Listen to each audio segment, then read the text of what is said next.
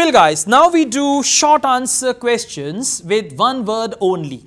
And remember when they say one word only and no number, uh, sometimes they say one word and or a number. Then you can write number. When they only mention one word only and the answer is a number, you will write number in words. Yes. So one word only and with one word only, never add any article, any extra word, a book, the table, some people, if the answer is people, just write people. I mean, uh, many students, what they are doing, I received messages uh, this week because IELTS result was announced for uh, 19th December. The result was 19th December, when, when we had the exam. I guess 19th December, right? So uh, the students are really shocked to see their reading result and listening result and say we performed very well. So what are the mistakes? When they fill the answer sheet, they are doing a lot of mistakes there. So if you just get four, if you miss four to five answers, or you write them or you misspell them, or you don't follow the instructions, it's one word only, you write two words. So definitely four, five score, I mean if it is less than that, uh, most obviously if 30 correct answers, you will get 7 band. If they are 26, so it's going to come down to 6.5 and all that. So be careful when you fill the answer sheet. That's extremely important. You might lose one band to half band if you fill the answer sheet in a wrong way. Okay. And if you are frustrated, one of my students, what did she do? Answer of question number 5, she wrote on 6. And then all the series, I mean, just imagine. Yeah. So be careful. They will not see bichare se galti No.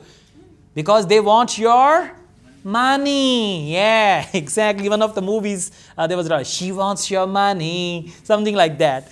Okay, so question number six. Again, we will read the question, find a clue word, and go back to the passage and look for that clue word, and questions and answers are in order. Question number six. Which part of some step wells provided shade for people? Look here. Look here the answer is a part of a step well. That part, imagine, I mean step well, like Syria niche ja step well, you might have seen somewhere. We, we do have them in, uh, in Pakistan also, like uh, I've seen one in Kasur and I've seen, Hiran Minar is a very good example of step wells. There are steps and going down. So, the question answer is a part of step well and that part provides shade to people. Now look here, the clue word is shade. What are the synonyms of shade?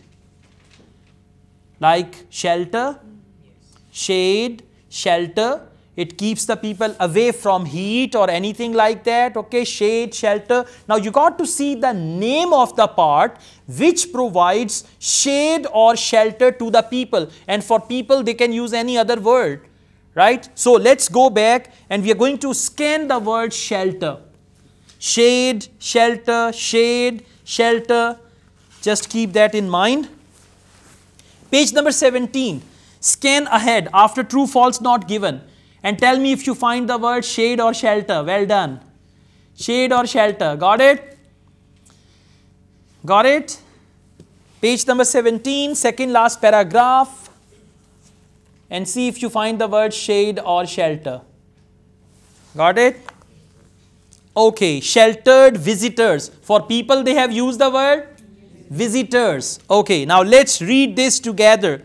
They have mentioned built from stone and supported by pillars. They also included pavilions that sheltered. Now that means pavilion. No, no, no, no. That means no. Listen, listen. This is very, very important. We call it referencing right? So they commonly use referencing in listening and in reading. What is that? Listen, let's read carefully together. Built from stone and supported by pillars. Now, whatever they built, I mean that part, it is built by stones, supported by pillars. They also include pavilions that sheltered visitors. Now, that means, huh? Stepwell. How can stepwell be the answer? That, that means it's coming right after pavilion, exactly. It's coming, I mean, just see that, just see that. Listen, listen, let's just do it again. Built from stone, one part, separate part, okay, and supported by pillars. supported by I mean, if, if this uh, room is supported by pillars, so I cannot say pillars, I will say room. Room gives the shelter, not pillars give the shelter, right? So they say uh, supported by pillars, they also included, they means that step wells included pavilions that sheltered visitors. Pavilions that sheltered. So the answer is pavilion right they also included pavilions that sheltered so that goes back to pavilion and this is what we call referencing they use the word this that such such people first they talk about type of people and then they say such people such places and the answer is a place right for example if i say the most interesting place is new york right and then they say new york is a wonderful city such cities can be most interesting for some tourists. So, such cities means New York. So, such, that, this is what we call referencing and this is how they confuse you. Say, okay, answer is pillars. And once you find the wrong answer, you are relaxed. I found the answer. Or ki ho sakta hai? Yeah, pillar is written there and all that. And always remember, with the right answer, very tactfully, they give you two, three options and the other options are now if you write pillars that's not the right answer because you need to find a place that provides shelter. So the answer is pavilions. Okay, yeah, plural. Uh, remember, when you have to select a word from the passage, write the word as it is written in the passage, same spelling, same number, singular or plural. If in the passage they write TV, you write TV. If in the passage they write television, then you write television. But don't change the spelling, don't change anything about the word. Question number seven. What type of serious climatic event? Now look here, look here. Rewording. We've got this question based on rewording.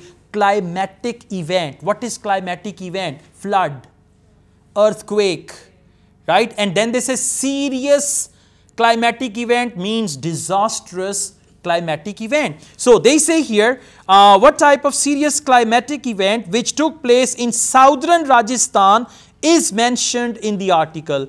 Go ahead, go to southern Rajasthan, look for the word serious climatic event. After pavilion, go on, look for the word Rajasthan and then see serious climatic event? And if you find the answer, don't tell me unless I ask you. Very good. You do like this, huh?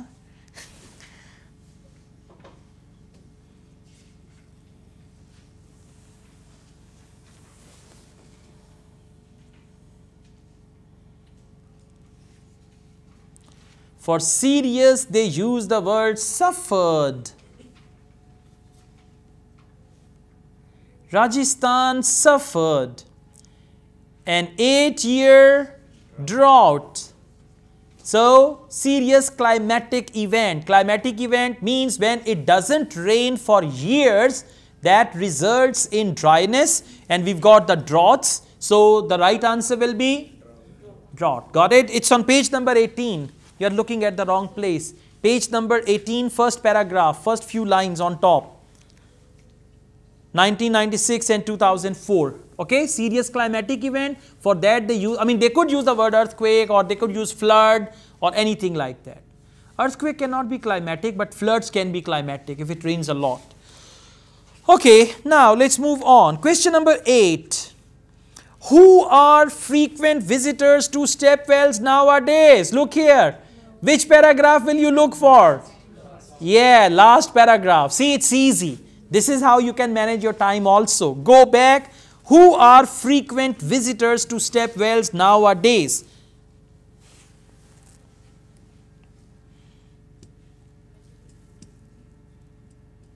And read in your heart, no whispering. In actual test, you are not allowed to whisper.